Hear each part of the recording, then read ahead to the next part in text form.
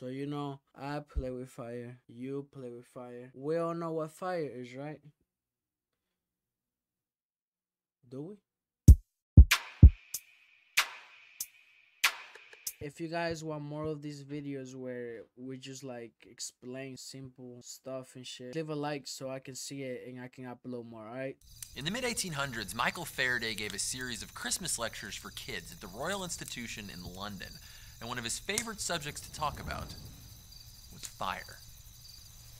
He was particularly interested in candles because inside their delicate flames, they hold some amazing lessons on how fire really works.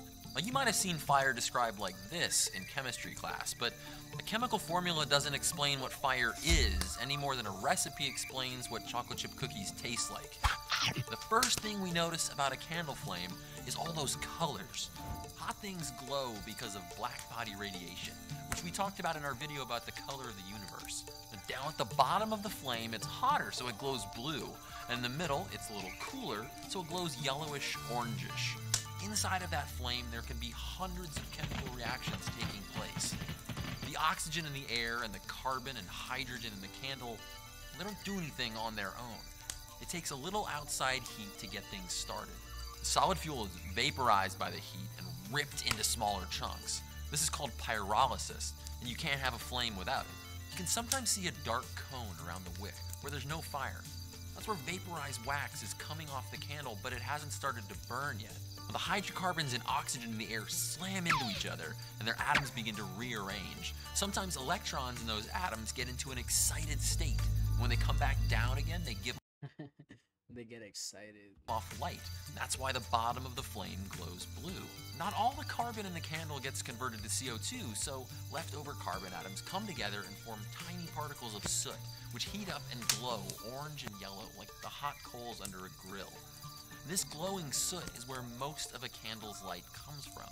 Eventually, at the tip of the flame, all the soot is burned away, and we're left with only carbon dioxide and water floating off into the air. You can investigate all the different parts of a flame for yourself with just a cold piece of metal. Up here, we find water vapor. In the yellow part of the flame, soot. And down just next to the wick, we can even recover unburned wax. Flames look really cool too. They're almost what was I talking about? Oh, oh right, shape.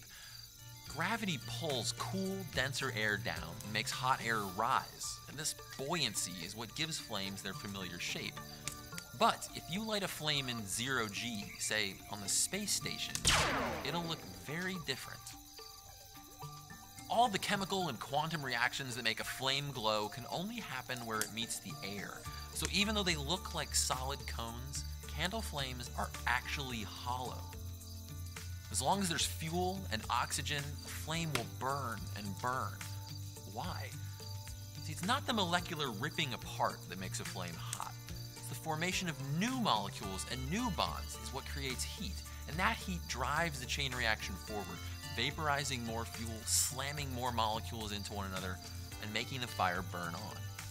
Our species has been gathering around fire for thousands of years, telling stories, asking questions over a flickering flame. And that's part of what helped make us human in the first place. Stay curious. Bro, I never done this before.